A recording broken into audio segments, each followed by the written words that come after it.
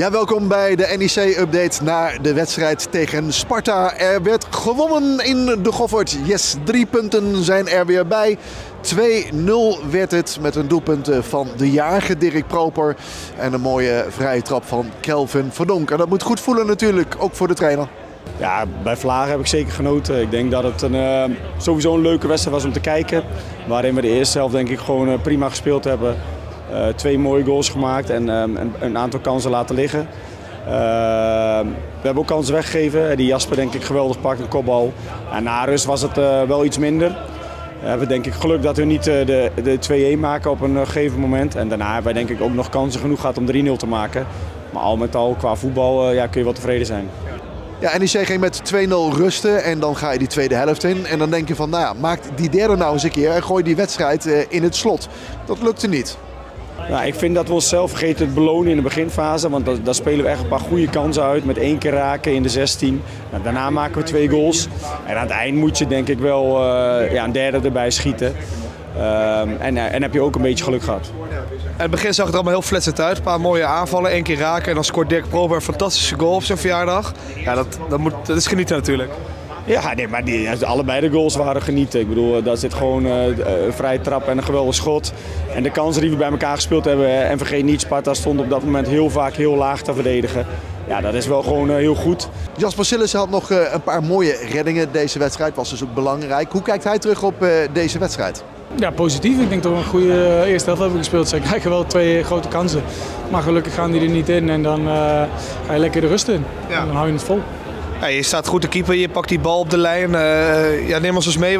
Was er, zat er wat geluk bij of uh, had je je goed gepositioneerd? Nee, ja, er zit altijd wat geluk bij. Kijk, uh, kopt met zijn netje, dan ben je kansloos. Maar goed, je komt over en je gooit je er naartoe en binnen je bereik. En dan gelukkig gaat de rebound er ook niet in. En dan is het wel even een ontlading. Ja. Ja, en dan was er ook wel een smetje op deze wedstrijd. Want het stadion werd even stil. De jarige Dirk Proper lag op het veld en viel geblesseerd uit.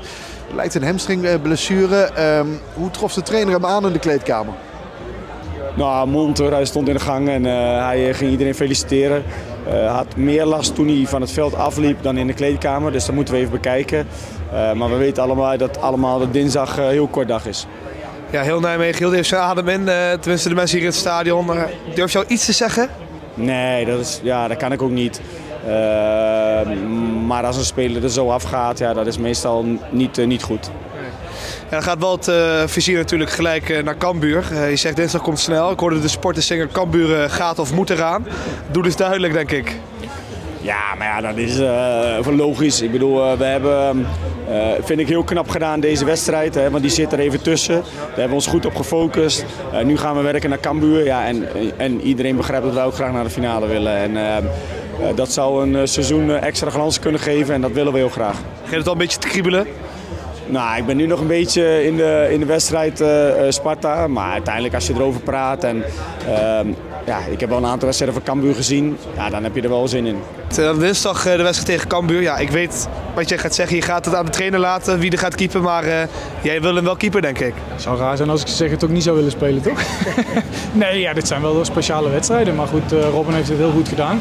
Alleen het is aan de trainer. Uh, ik heb denk ik vandaag wel laten zien dat ik wel klaar voor ben. Het vizier moet nu op Cambuur en dat doen wij ook. Want we zijn er maandag weer met een nieuwe NEC-update. Voorbeschouwing natuurlijk dan op die halve finale in de beker. Nog iets leuks. Maandagavond 9 en 10, tussen 9 en 10 op de radio bij RN7. Gaan we een uur lang het hebben over NEC en over die halve finale. Met in eh, de studio twee gasten. Arno Arts, gespeeld bij beide clubben. Ivo de Bruin, uh, keeperstrainer ook geweest. Ook zelf keeper geweest. Maar keeperstrainer ook hier bij NEC. We gaan het over de keepers hebben. Want ja, wie moet er nou spelen? Moet Sillissen spelen? Of uh, moeten we toch nou, Robin Roefs er weer onder die lat zetten? Je gaat het allemaal horen dan tijdens die uitzending. En wij zijn er dus weer maandag met een nieuwe update. Ik zeg tot dan.